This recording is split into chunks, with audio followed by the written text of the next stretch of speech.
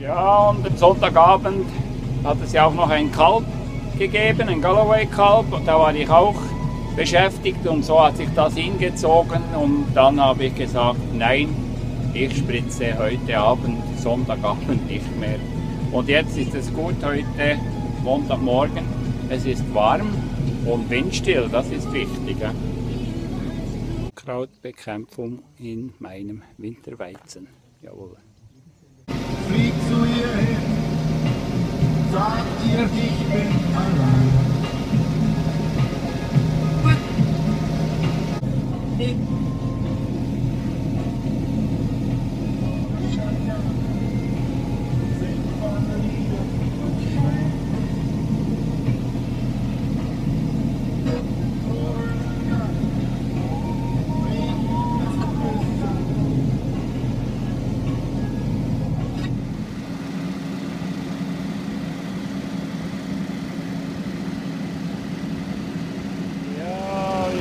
Freunde, ich hatte da Probleme.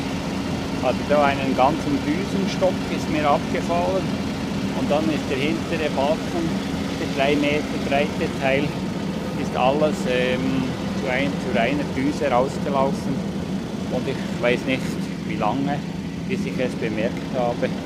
Es kann sein, dass ich da im Getreide jetzt äh, ein Teil nicht gespritzt habe, aber ich lasse das so sein und mache halt dann eine Korrektur, wenn man das Unkraut wachsen sieht.